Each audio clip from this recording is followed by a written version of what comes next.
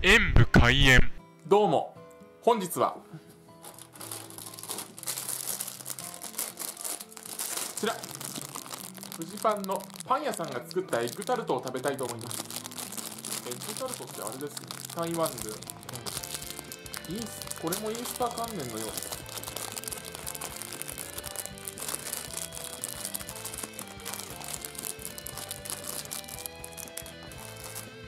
では。ただきます。謙遜か自信の表れか分かりませんがこれは？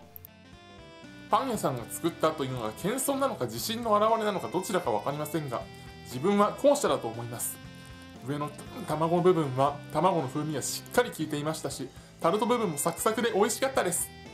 ご視聴ありがとうございました。コメントしていただけると嬉しいです。シリーズ化希望パソコンおよびスマートフォンのアプリの方はクリックをお願いします。